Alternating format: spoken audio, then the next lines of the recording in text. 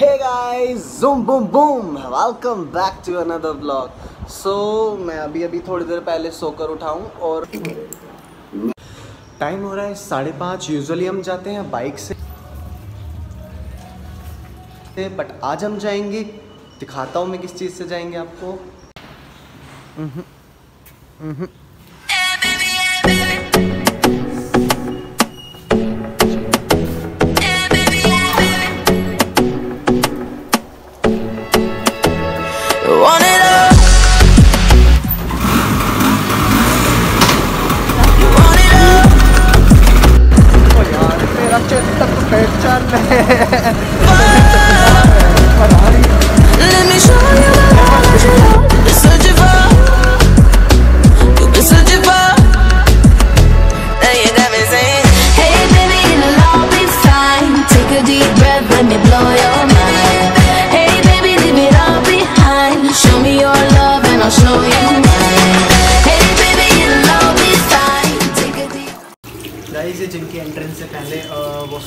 जिससे कि हम अपने हाथों को वॉश करके तभी एंट्री होती है अंदर और सैनिटाइज वगैरह सब यहीं पे हो जाता है। पूरा प्रोसेस बहुत सही है। मतलब हर आधे घंटे और एक घंटे के अंदर अंदर अंदर सैनिटाइजेशन प्रोसेस होता है, जिसमें कि मशीन्स वगैरह सब सैनिटाइज होती हैं। अंदर बंदा एक लड़का रखा हुआ है, जिस जो सैनिटाइज वगैरह करता है।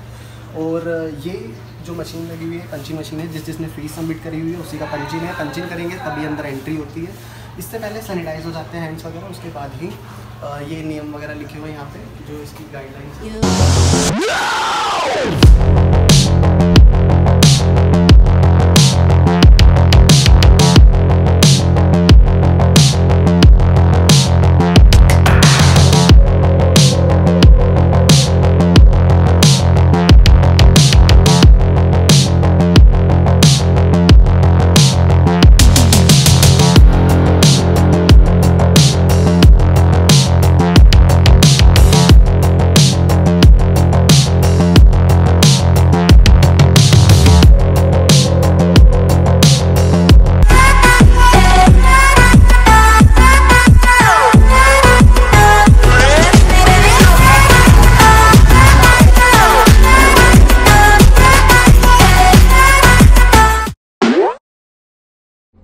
कौन है ये लोग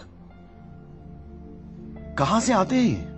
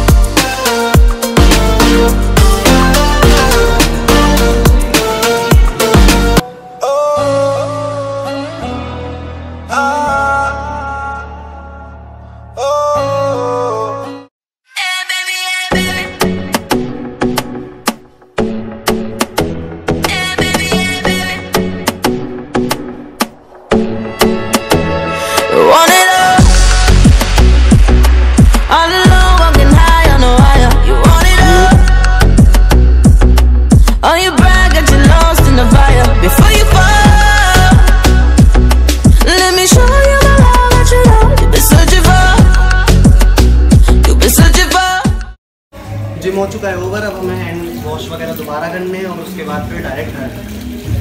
तो ये था जिम का पूरा प्रोसेस होप आपको ये वीडियो अच्छी लगी होगी। अच्छी लगी हो तो लाइक कर देना कमेंट कर देना और चैनल ज़रूर सब्सक्राइब कर देना.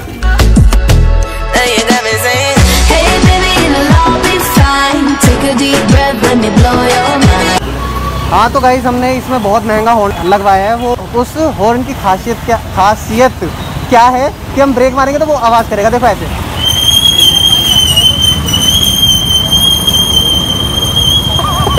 घर आ चुका हूँ मैं। यार लाइट वगैरह क्यों बंद रखते हो? ये हमारी मम्मी जी से मिली। है मम्मी जी नमस्ते।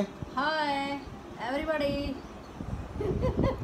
ये आज तो सुंदर सी लग रही हो क्या बात है।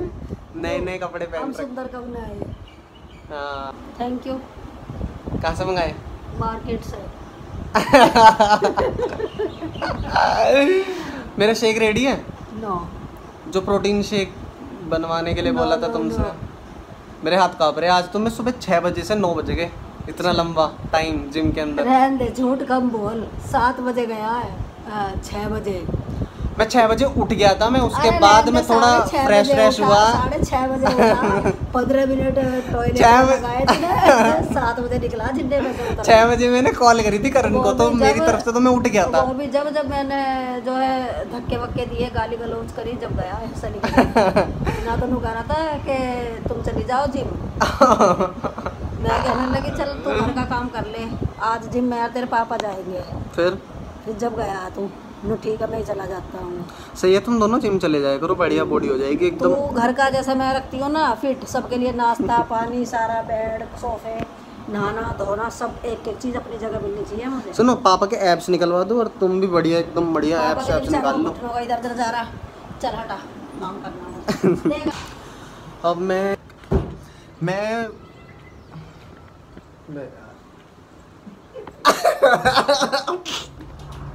मैं तो मैं आपको बता दूँ मैं आप चुप हो जाओगे। मैं नहाने जाऊँगा। नहाने के बाद नहीं पहले मैं ब्रेकफास्ट करूँ नहाने जाऊँ। पहले मैं नहाने चला जाता हूँ। नहाऊँगा। चाय पीऊँगा नहाऊँगा उसके बाद घर वालों की गालियाँ खाऊँगा और रात को फ्री की रोटी खा के अपने माँ बाप के टुकड़ों पे पल के सो जाऊँगा। अब मैं, उसके बाद मैं ब्रेकफास्ट करूँगा। ब्रेकफास्ट करने के बाद मैं अपना 12 बज जाएँगे। 12 बजे मैं ऑफ़िस को ऑफ़िस पे एक बार कॉल करूँगा, फिर लॉगिन करने बैठ जाऊँगा। 12 टू 10 एक घंटा एक्सटेंड हो गया हमारा। घर पे है ना?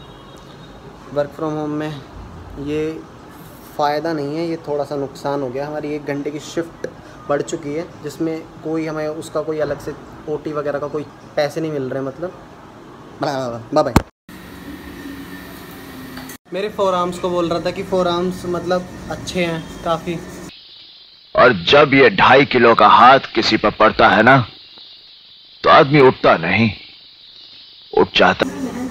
अरे मेहनती की बात नहीं है मुझे उन, उसने नहीं बोला था दमन ने बोला था और जिस जहाँ भी मतलब मैं जितने भी लोगों से मिलता हूँ ज़्यादातर सब लोग यही बोलते हैं कि तेरे ये बहुत अच्छे हैं काफ़ी। और ये है भी। रामा के हाथ पैर देखता और वो तो चौबीस घंटे रहा है खेत में। और इतने सौ ये मजदूर का हाथ है कातिया। लोहा पिघलाकर उसका आकार बदल देता है। तोड़े हुए पत्थर तोड़ता हूँ। हाथ पैर में पता नहीं कैसे कर रखे ये ताकत खून पसीने से कमाई हुई रोटी की है। और आपने बब्बर अंकल को देखा है। जैसे लड़कियों के हाथ रहे कितने मुलायम कितने सॉफ्ट तो है हमें लड़की थोड़ी बनना है मैं हो चुका हूँ रेडी और पापा मम्मी की मेडिसिन लेनी थी तो हम मेरठ जा रहे हैं पापा और मैं साथ में। तो कुछ नहीं बस मेडिसिन लेके मैं वापस आ जाना और कुछ काम नहीं है मेरठ में। ठीक है? जल्दी जल्दी हेलमेट हेलमेट मम्मी ठीक है? नमस्ते।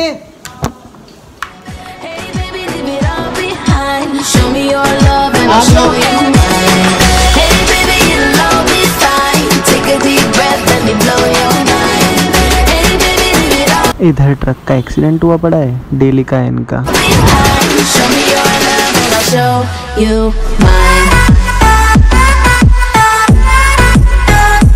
जितने भी दिल्ली के भाई बंधु इस वीडियो को देख रहे हैं उनका पहला क्वेश्चन यही होगा कि दिल्ली मेरठ एक्सप्रेसवे का काम कहाँ तक पहुँचा? तो ये रही आपके सामने लाइव रिपोर्ट ये परतापुर से पहले थोड़ा काम चल रहा है यहाँ पर और काफ़ी स्पीड से काम चल रहा है। क्या से रास्ता? कभी भी अगर रास्ता पता ना हो खड़े ना? तो गूगल मैप्स का इस्तेमाल करें। किसी भी गाड़ी वाले के पीछे ना लगाएँ कि ये भी उसी डायरेक्शन में जा रहा होगा। हमारे साथ देखो क्या हुआ। आगे पुलिस वालों ने उसे रोक लिया था और उसका तो चलान कटा ही कटा हमारा भी कटने वाला था वो तो मैंने पीछे से पापा से बोल के मुड़वा ली थी गाड़ी। और जब आपके पापा माउंटेन पी कर गाड़ी चला रहे हो तो आपके साथ ये होता है। मेरठ में पहले काफ़ी सारे मॉल हुआ करते थे बट अब एक तो ही है सबसे बड़ा मॉल यही है शॉपरिक्स मॉल ये दिल्ली मेरठ रोड पे पड़ता है दैनिक जागरण के सामने। शॉपरिक्स से थोड़ा सा आगे ही अमर उजाला है राइट हैंड साइड से। पापा ने एक बार बताया था कि मैं देवनागरी इंटर कॉलेज में पढ़ता था। ये मेरठ का बस स्टैंड है। यहाँ से आपको हर जगह के लिए बसेस मिल जाएँगी। मुजफ्फरनगर, दिल्ली, गाज़ियाबाद, सहारनपुर, हरिद्वार, सब जगह के लिए आपको यहाँ से बसेस मिल जाएँगी। इन बसेस में मैंने बहुत ट्रैवल किया है। पहले मैं कॉलेज जाता था और अब दिल्ली।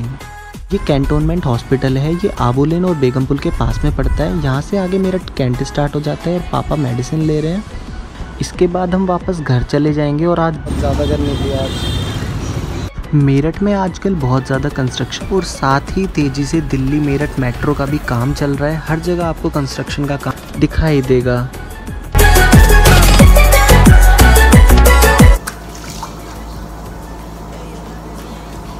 बहुत ज़्यादा थक गया हूँ मैं। अभी हम मेरठ से वापस आए हैं। अब खाना वगैरह खाऊँगा, थोड़ा आराम करूँगा, फिर उसके बाद आज जो वीडियो अपलोड करी है, उस पर रेस्पॉन्स देखना है, कैसा रेस्पॉन्स रहा।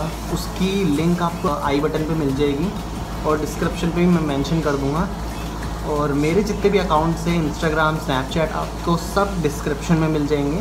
तो हो सके तो आप वहाँ पे मुझसे जुड़े रहिएगा। और बाकी, मिलते हैं नेक्स्ट वीडियो में। Bye bye take care love you